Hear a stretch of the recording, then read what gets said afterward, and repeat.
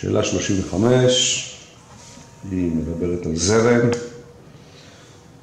בשעה 12 אני נמצא דרומית לאי אריק בטווח של שתי מייל. בואו נתחיל. איפה אני נמצא? מודל שתי מייל,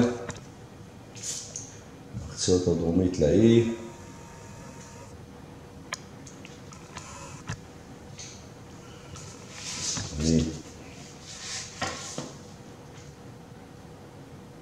ועוד עם הסרגל דרומה.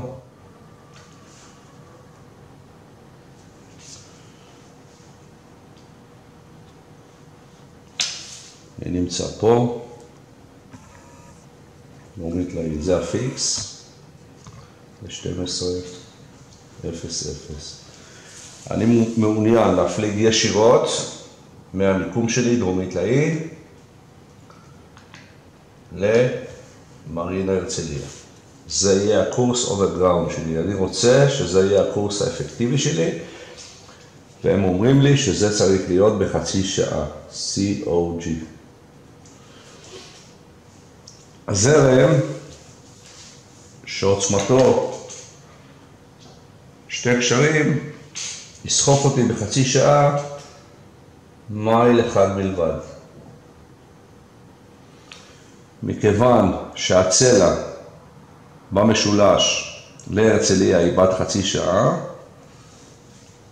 גם הצלע של הזרם תהיה בת חצי שעה. כלומר, בחצי שעה אני אסחף לכאן.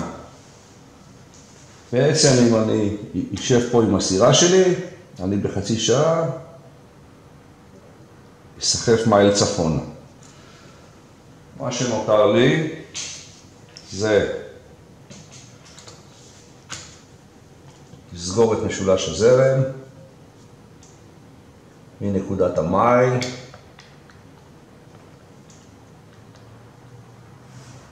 להרצליה וזה יהיה ה-TC שלי. זהו, זה התרגיל. טוב, ועכשיו בואו נענה על התשובות, נראה מה רוצים מאיתנו בעצם בתשובות. תרגיל מספר 35, א', הם מבקשים את הקורס over ground. אני מעוניין להפליג, אחרי כל החישובים המסובכים, ישירות להרצליה, למרות הזרם. ה-COG שלי, הקורס האפקטיבי שלי הוא 89. COG, ישירות להרצליה, יהיה 89 מעלות. זה יהיה הקורס האפקטיבי שלי. ב'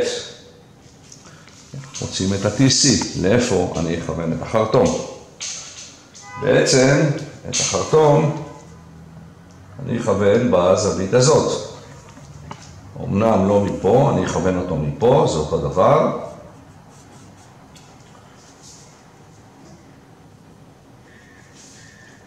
אני אמדוד.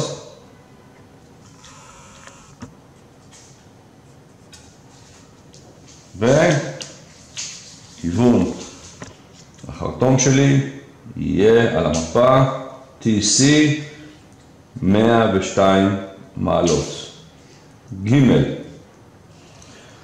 הם מבקשים את מהירות הספינה ביחס למים, את ה-boat speed, מהירות הלוג שלי.